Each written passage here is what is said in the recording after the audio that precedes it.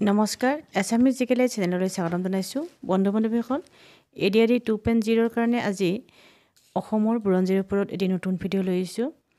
বন্ধু বান্ধৱীসকল ইয়াত সন্নিৱিষ্ট কৰা প্ৰশ্নসমূহ আপোনালোকৰ আগন্তুক যিকোনো ধৰণৰ কম্পিটিটিভ এক্সামত সহায় হ'ব পাৰে গতিকে ভিডিঅ'টো স্কিপ নকৰাকৈ সম্পূৰ্ণকৈ চাব। প্ৰথম প্ৰশ্নটো হ'ল which Kamata ruler shifted his capital from Kamrup Nagar to Kamatapur কোন কমতা শাসকে তেওঁৰ ৰাজধানী কামৰূপ নগৰৰ পৰা কমতাপুৰলৈ স্থানান্তৰিত কৰিছিল?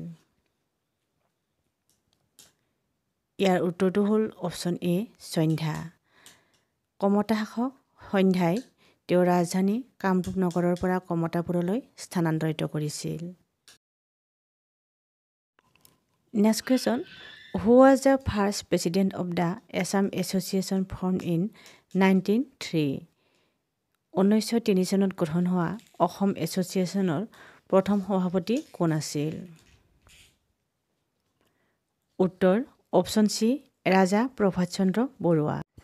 ঊনৈছশ তিনি চনত গঠন হোৱা অসম এছ'চিয়েশ্যনৰ প্ৰথম সভাপতি আছিল ৰাজা প্ৰভাত চন্দ্ৰ বৰুৱা।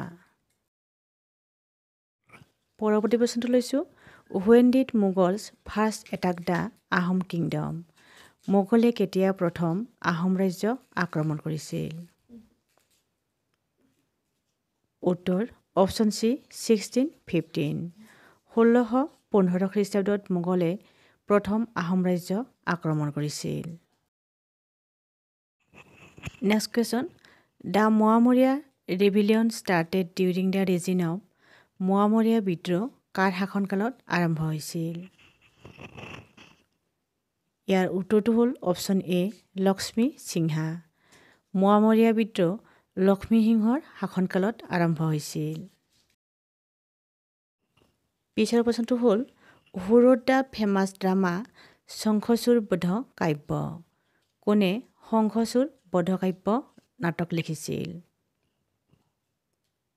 উত্তৰ অপশ্যন চি কবিৰাজ চক্ৰৱৰ্তী। কবিৰাজ চক্ৰৱৰ্তীয়ে শংখচূড় বধ কাব্য নাটক লিখিছিল। Next question James Mill the first European to came to Assam visited during the reign প্ৰথম ইউৰোপীয়ান জেমছ মিল কাৰ শাসনকালত অসমলৈ আহিছিল? ইয়াৰ উত্তৰটো হ'ল অপশ্যন ডি শিৱ সিংহা। শিৱসিংহৰ শাসনকালত প্ৰথম ইউৰোপীয়ান জেমছ মিল অসমলৈ আহিছিল। Next question where did Gadapani or Gadadhar Singha make his capital Gadapani বা গদাধৰ সিংহই কত তেওঁৰ ৰাজধানী পাতিছিল ইয়াৰ উত্তৰটো হ'ল অপশ্যন বি বৰকলা গদাপানী বা গদাধৰ সিংহই তেওঁৰ ৰাজধানী বৰকলাত পাতিছিল next question who was the first Borphukan of the Ahom kingdom Ahom সাম্ৰাজ্যৰ প্ৰথম বৰফুকন কোন আছিল উত্তৰ অপশ্যন বি ফ্ৰাংচেং মং আহোম সাম্ৰাজ্যৰ প্ৰথম বৰফুকন আছিল Frangcheng Mong next question the language use in the inscription of the Koch kings was Koch ৰজাসকলে কি ভাষা ব্যৱহাৰ কৰিছিল? উত্তৰ অপশ্যন চি সংস্কৃত। কোচ ৰজাসকলে সংস্কৃত ভাষা ব্যৱহাৰ কৰিছিল। Next question who was the first ruler of Coochbehar কোচবিহাৰৰ প্ৰথম শাসক কোন আছিল? ইয়াৰ উত্তৰটো হ'ল অপশ্যন এ লক্ষ্মীনাৰায়ণ। কোচবিহাৰৰ প্ৰথম শাসক আছিল Lakshminarayan. Next question which Ahom king introduce the Posa system কোন আহোম ৰজাই পচা প্ৰথা আৰম্ভ কৰিছিল? ইয়াৰ উত্তৰটো হ'ল অপশ্যন এ গদাধৰ সিংহা। গদাধৰ সিংহই পচা প্ৰথা আৰম্ভ কৰিছিল। Next question which of the following Ahom king build the temple Chandika at Chaygaon কোন আহোম ৰজাই ছয়গাঁৱৰ চন্দিকা মন্দিৰ নিৰ্মাণ কৰিছিল উত্তৰ অপশ্যন বি প্ৰতাপ সিংহা আহোম ৰজা প্ৰতাপ সিংহই ছয়গাঁৱৰ চন্দিকা মন্দিৰ নিৰ্মাণ কৰিছিল next question Kareng Ghar of Garhgaon was constructed by which Ahom king গড়গাঁৱৰ Kareng Ghar কোন আহোম ৰজাৰ দিনত সজোৱা হৈছিল? ইয়াৰ উত্তৰটো হ'ল অপশ্যন বি ৰাজেশ্বৰ সিংহা। গড়গাঁৱৰ কাৰেংঘৰ আহোম ৰজা ৰাজেশ্বৰ সিংহৰ দিনত সজোৱা হৈছিল। Next question Bhogeswari Phukanani died during which of the following movement Bhogeswari Phukanani কোন আন্দোলনত মৃত্যু হৈছিল? ইয়াৰ উত্তৰটো হ'ল option A quit India movement Bhogeswari ফুকননীৰ ভাৰতীয় আন্দোলনত মৃত্যু হৈছিল। Next question which of the following Ahom king was also' known as Burha Raja. তলত উল্লেখ কৰা কোন আহোম ৰজাক বুঢ়া ৰজা বুলি কোৱা হয়? উত্তৰ অপশ্যন এ প্ৰতাপ সিংহা। আহোম ৰজা প্ৰতাপ সিংহক বুঢ়া ৰজা বুলি কোৱা হয়। Next question which Ahom ruler was known as Lora Raja? কোন আহোম ৰজাক ল'ৰা ৰজা বুলি কোৱা হয়?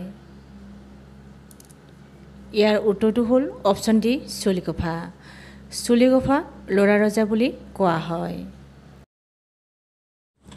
Next question Mulagabharu died fighting against home. মূলাকাভৰুৱে কাৰ বিৰুদ্ধে যুদ্ধ কৰি মৃত্যুবৰণ কৰিছিলে? ইয়াৰ উত্তৰটো হ'ল অপশ্যন চি তুৰ্বক। মূলাকাভৰুৱে তুৰ্বকৰ বিৰুদ্ধে যুদ্ধ কৰি মৃত্যুবৰণ কৰিছিল। Next question Sarbananda Singha was the king of which kingdom Sarbananda Singha কোন সাম্ৰাজ্যৰ ৰজা আছিল? উত্তৰ option A D Mataks Sarbananda Singha Matak সাম্ৰাজ্যৰ ৰজা আছিল। Next question who was the last ruler of the Khen dynasty Khen ৰাজবংশৰ শেষ সম্ৰাট কোন আছিল?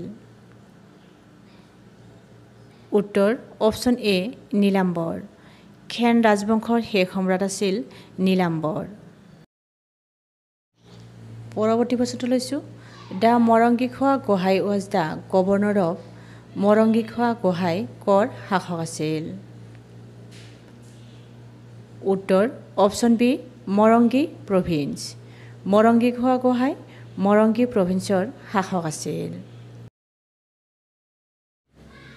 Last question what was the other name of Prithu পৃথুৰ আন এটা নাম কি?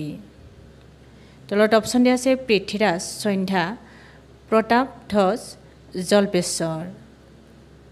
ইয়াৰ কাৰেক্ট এনচাৰ হ'ল অপশ্যন ডি জলপেশ্বৰ। পৃথুৰ আন এটা নাম হ'ল জলপেশ্বৰ। প্লিজ ভিডিঅ'টোৰ পৰা যদি উপকৃত হোৱা বুলি ভাবে তেতিয়াহ'লে লাইক কমেণ্ট কৰাৰ লগতে আমাৰ চেনেলটো যদি নতুনকৈ ভিজিট কৰিছে তেতিয়াহ'লে ছাবস্ক্ৰাইব কৰিবলৈ যেন নাপাহৰে। আৰু যিসকলে ছাবস্ক্ৰাইব কৰিছে তেওঁলোকলৈ অশেষ ধন্যবাদ।